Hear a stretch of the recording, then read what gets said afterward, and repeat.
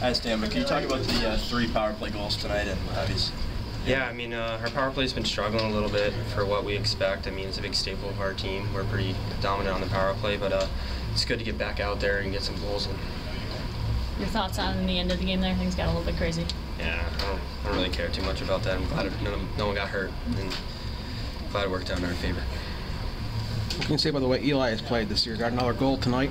Uh, certainly does not look like a freshman out there, especially how big he is. But uh, he stepped up big. I mean, losing him was pretty tough on our team, but you can see when he comes back, he's forced to be reckoned with. What does he bring to the lineup?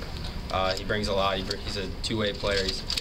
He can hit, play defense, block shots, and as you can see, he can score some goals.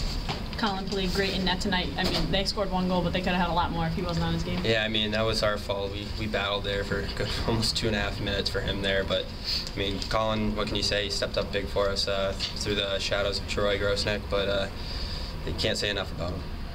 Talk about what Kevin Sullivan, you know, his return to the lineup. He had, you know, it seems like he's an assist machine right now. Yeah, I mean we call him the dish master right now because he's just getting apples like it's nothing. I mean, brings a lot to our lineup as you can see with his play. But uh, it's definitely great to have him back.